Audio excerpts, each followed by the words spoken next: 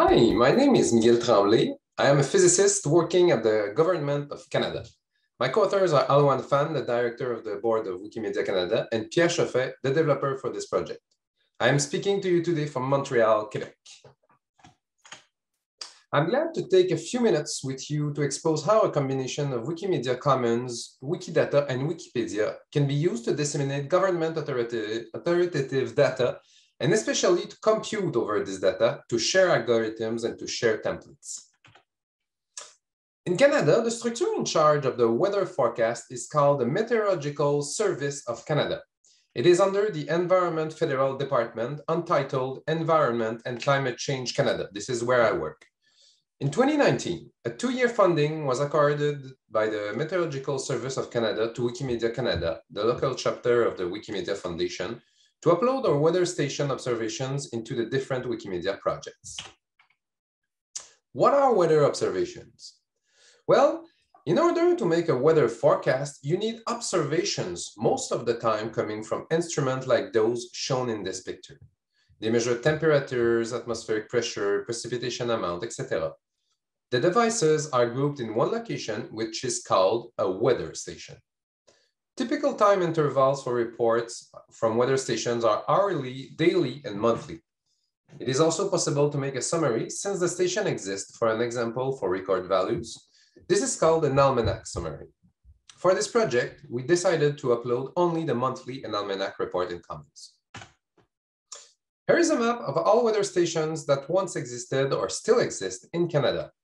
There are a lot of them because there have been observations for, uh, for a long time in our country. The oldest observation dates from 1840 in Toronto, and many stations have been opened and closed since then. There are more than 8,000 stations, times two per stations, 16,000 report, that gives 16,000 reports in the dataset. Now that we know a little bit about the input dataset, let's go through the list of the Wikimedian projects that we use to manipulate this data. The first one is Wikimedia Commons, the media repository accessible to all Wikimedia projects. In late 2016, an additional capability was added to Commons, the capacity to upload data in JSON format. It didn't seem to cause much of a stir at the time, and even now, but it was this additional capacity that allowed us to upload the Canadian weather observations in Commons. This is what a data file looks like in Commons. It is an example of weather data that can be found. A second tool that we used is Wikidata. We use it to upload the station metadata. We put the information of every station's location, date of opening, closing, type of observations, etc. in every station element we created.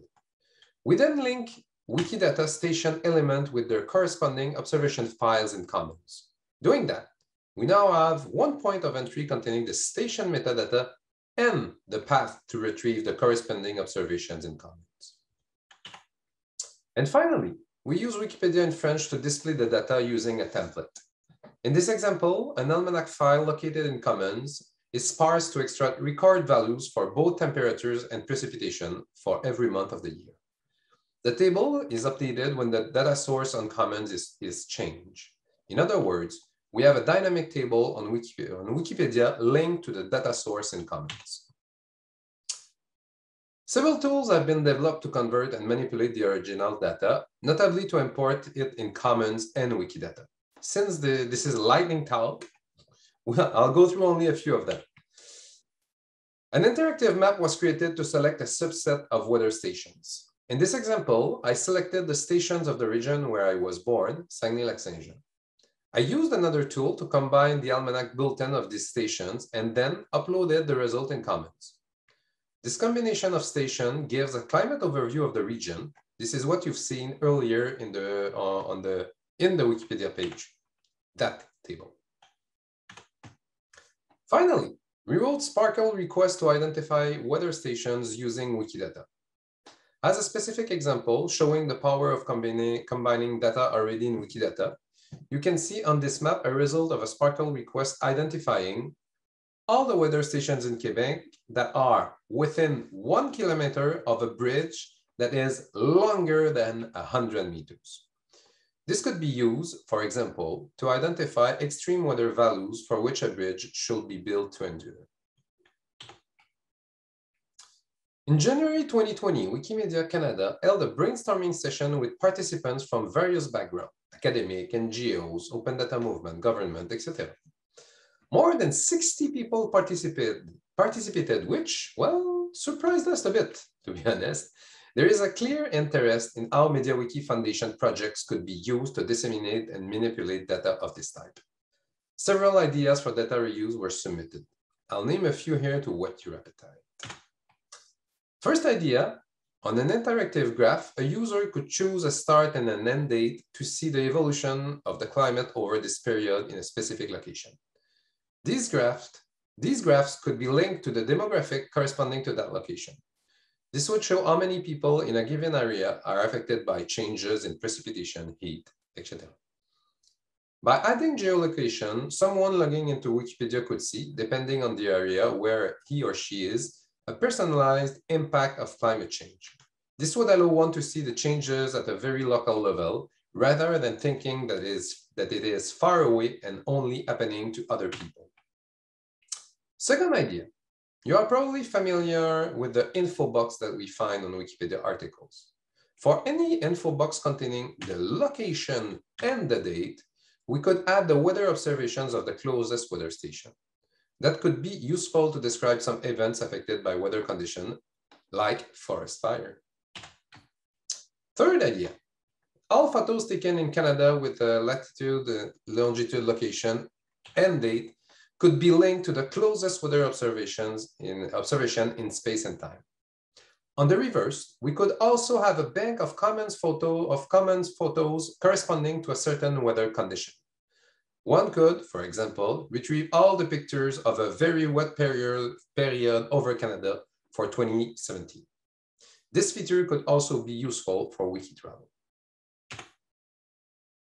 Conclusion. There are many reasons why someone would want to import data in Wikimedia. The main reason is to make these data accessible, reusable, and publishable without any restriction, alongside with all the other information already available. This is what is exciting about this project, in my opinion. We are expanding the scope of knowledge of the Wikimedia Foundation project by including raw data. From the moment a user has a web browser, he or she can access the data and manipulate it. Next step for us. Well, the first step is the simplest. It is to translate the template to display the record values uh, shown earlier in other Wikipedia, starting with, with Wikipedia in English. We hope in this way to increase interest in the use of the data. We would also like to, we would also like to add data from other countries. For licensing reasons, it would be easy uh, for us to uh, upload the US weather observation to start. Three, we were recently contacted by the World Meteorological Organization, uh, United Nations agency. They are developing new standard for disseminating observations to every countries, and they are interested in exploring with us the possibility of, aligning, of aligning this project uh, described in this talk with their mandate. And for finally, the presentation we have made so far have generated some interest. This summer, two data journalism interns are publishing article addressing climate change issues in Canada, guided by the data we've put in Commons and Wikidata. We're also looking to expand the team of participants and people involved in weather data ingestion. If you are interested, you can contact us by this project or by joining, uh, contributing. You can contact us by email or through any of our wiki user page. Moreover, if you know people in your corresponding national weather organization, please tell them about this project. If you need more information, you can contact me or Alawan Fan at these coordinates or by joining us at our unconference table B at 13 UTC today in 30 minutes. Thank you.